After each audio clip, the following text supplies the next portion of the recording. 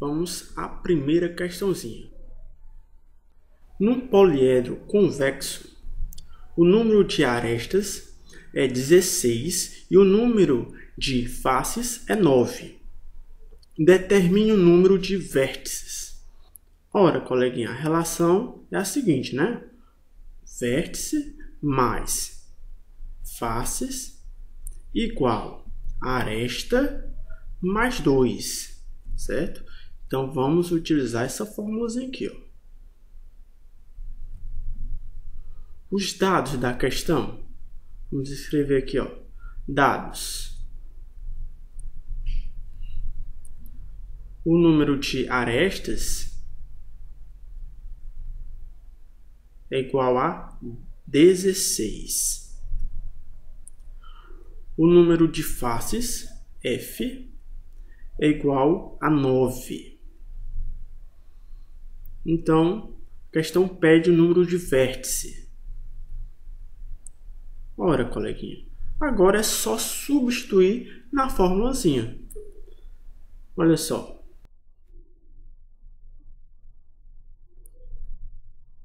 V, que vamos encontrar, mais F é 9, igual a que é 16, mais 2. Então, V é igual 16 mais 2, 18. O 9, ó, que está no primeiro membro, vou passar para o segundo membro negativo.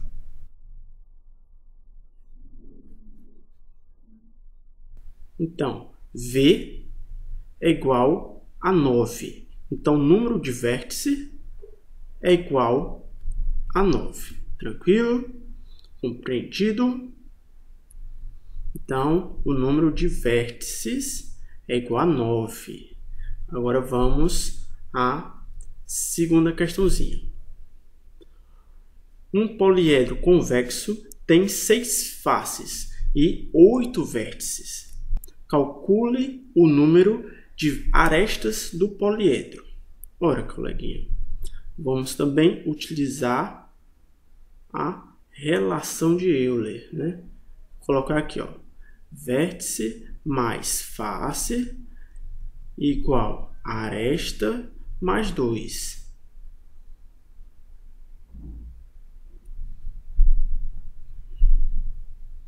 Então, vamos aos dados.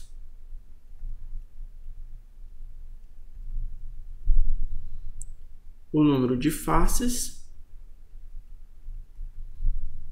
é 6.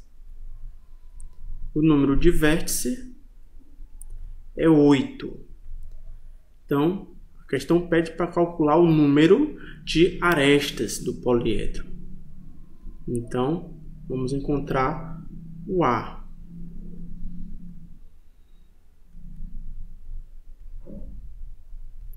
Então, V aqui ó, é 8.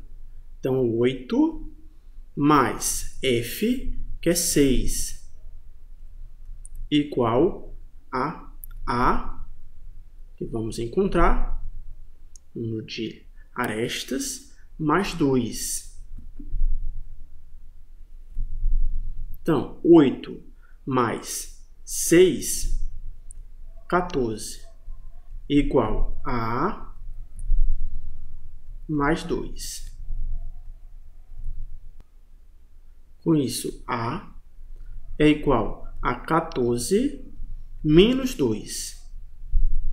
A é igual a 14 menos 2, 12.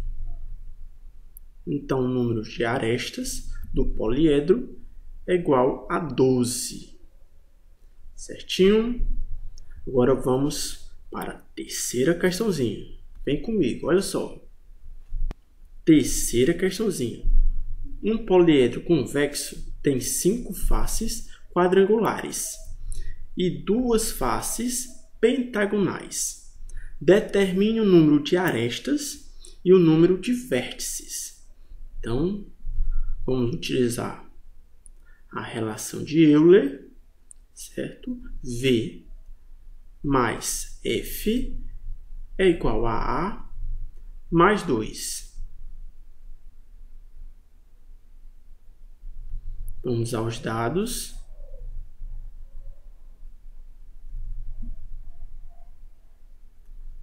Olha só, Clay. Temos aqui, ó, nesse poliedro, certo? Cinco faces quadrangulares e duas faces pentagonais. Com isso, no total, 5 mais 2, temos sete faces, certo? Nesse poliedro. Com isso, F é igual a 7. Certo? Compreendido? Beleza. Então, a questão pede para encontrar o número de arestas e o número de vértices.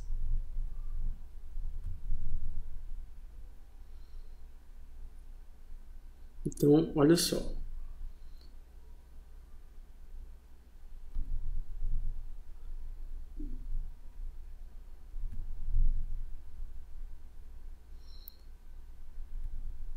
Nesse poliedro, como já falei, temos cinco faces quadrangulares. Então, cinco faces quadrangulares.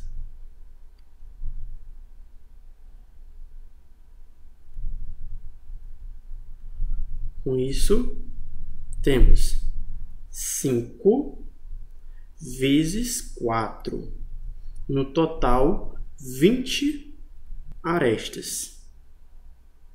Então, nessas cinco faces quadrangulares, temos 20 arestas.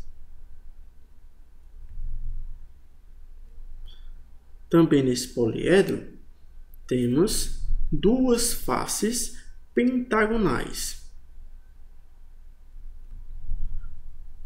Com isso, temos duas faces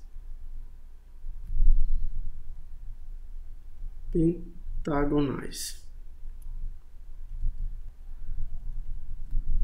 Então, 2 vezes 5. 2 vezes 5, 10. 10 arestas. Então, total de arestas.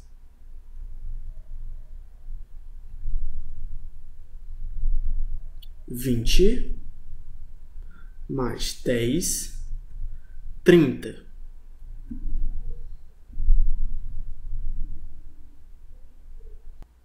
Perceba só, o número de arestas são contados duas vezes cada arestas. Com isso, temos que A 2A é igual a 30. Então, A é igual a 30 sobre 2. A é igual a 15. Certinho? Então, o número de arestas, certo? Do poliedro é igual a 15.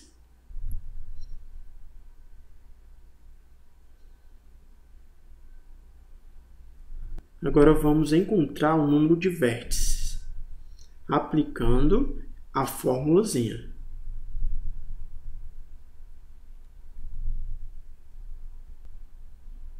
V mais 7 igual a 15 mais 2.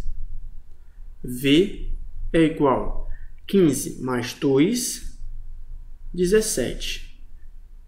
Passando o 7 que está no primeiro membro para o segundo membro, ficando menos 7. V é igual 17 menos 7, 10. Então, o número de vértices do poliedro é igual a 10. E o número de arestas é igual a 15. Beleza? Compreendida essa questãozinha? Então, vamos lá. Vamos para a quarta questão. Quantos vértices tem um poliedro convexo, sabendo-se que ele apresenta uma face hexagonal e seis faces triangulares? Certo? Também, nessa questão, vamos usar a relação de Euler, que eu vou colocar aqui, ó. V mais F igual a A mais 2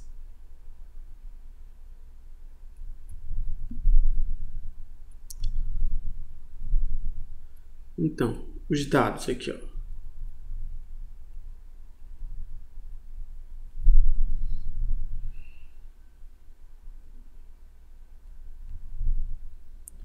A questão pede o número de vértices.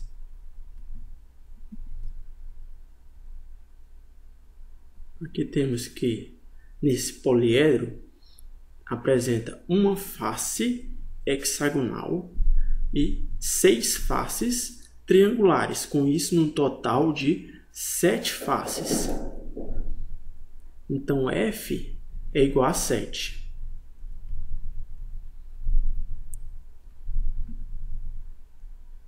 certo? E o número de arestas? Vamos aqui, ó.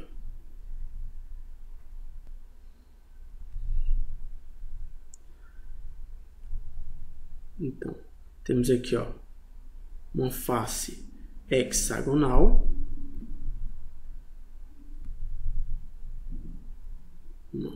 face hexagonal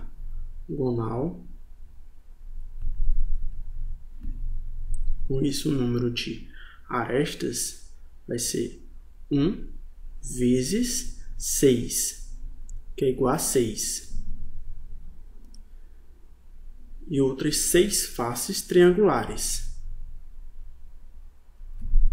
Seis faces triangulares. Seis vezes 3 igual a 18. Então, no total aqui, ó, de arestas é igual a 24. Percebam bem que cada aresta é contada duas vezes. Com isso, a 2A é igual a 24. A vai ser 24 sobre 2. A é igual a 12. Então, o número de arestas, certo? Desse poliedro é igual a 12, não 24. Certo? 24 deu aqui, pois cada aresta é contada duas vezes. Então, o número de arestas é igual a 12.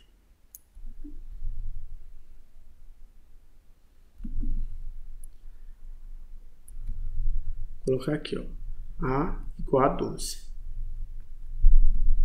Agora vamos encontrar o número de vértice, certo? Aplicando a relação de Euler.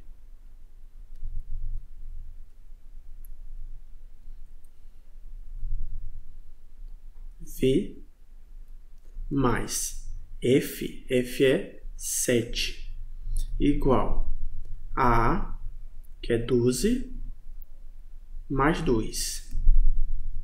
V igual 12 mais 2, 14.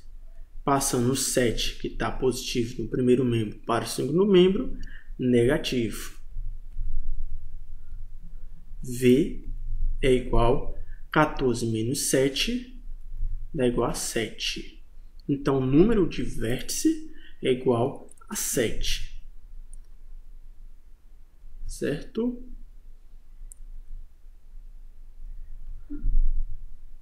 Então, encontramos o número de vértices aqui desse poliedro, que é igual a 7, beleza? Então, é isso aí, coleguinha. Espero que tenha compreendido, espero que tenha gostado. Deixe seu curtir aí, inscreva-se no canal, valeu e até a próxima. Tchau, tchau.